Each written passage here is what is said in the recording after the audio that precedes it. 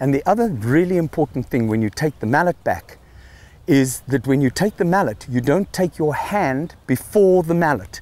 You don't take it back that way to get there because then the mallet will never ever follow the swing plane. It comes and it starts to fall either in or it's outside.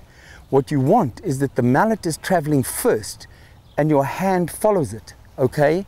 So from the side, if you're battling with getting into the swing plane, a really nice little tip is as you start your swing, just start the mallet moving backwards there and let your hand follow it and come down instead of taking your hand first and leaving the mallet back.